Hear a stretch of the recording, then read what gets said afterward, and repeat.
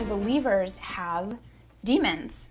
And a lot of people have asked this question. A lot of people think that they cannot, but we have seen this the past few weeks. There's been a couple women who were set free from demons who were Christians. So yes, this can happen. We see in Matthew 6:22, the eye is the lamp of the body. If your eyes are healthy, your whole body will be full of light. But if your eyes are unhealthy, your whole body will be full of darkness. If then the light within you is darkness, how great is the darkness?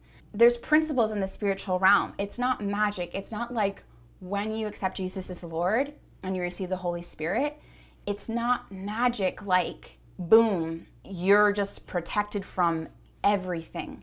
It's up to you to follow the instructions from God. Just because you give your life to Jesus doesn't mean that demons cannot come in and have access. If you give them permission to by opening up doors, they can have access. We have to do things God's way and follow His instructions and His principles. Just because you're a Christian and you take drugs and alcohol doesn't mean that that's not going to have a hold over you. Doesn't mean, oh, I'm a Christian, so I'm not going to be addicted. Like, that's silly, right?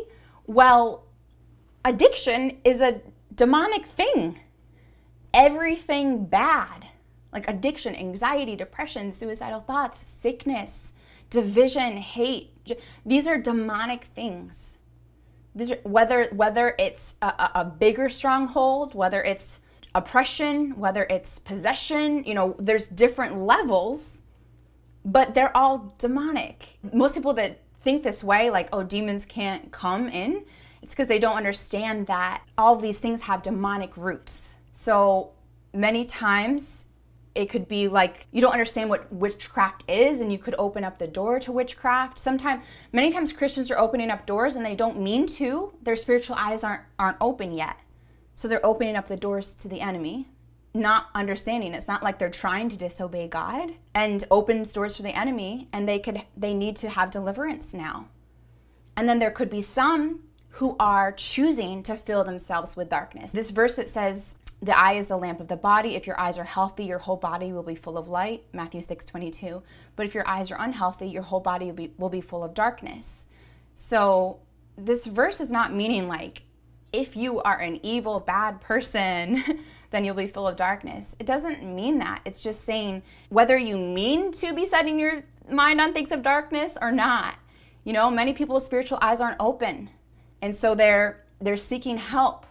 Like the the woman who was who was delivered um, a few weeks ago, her spiritual eyes weren't open yet, and so people were trying to help her through demonic powers, through witchcraft.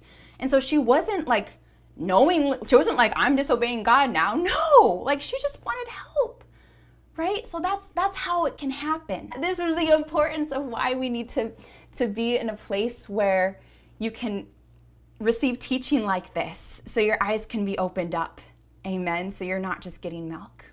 And then of course there are many christians who live one foot in the world who live one foot in the world where you're not surrendered to god and so when you're doing that, you are opening the door up to the enemy in certain ways. So that's how it can happen. The key to receiving deliverance is coming to where the power of God is. This is the key. This is the key. And and the enemy may the enemy knows where the power of God is, so he will try to keep you from coming but you need to know that if your heart is to be set free, if your heart is to find Jesus, is to seek Him, is to receive from Him, Jesus is more powerful than the enemy, no matter what. Nothing can stop you from coming and receiving deliverance. Nothing can stop you from receiving from God, no matter how loud the voices are in your head, no matter how loud the lies are. Nothing can stop you from receiving freedom, from coming and receiving freedom and everything you need from God.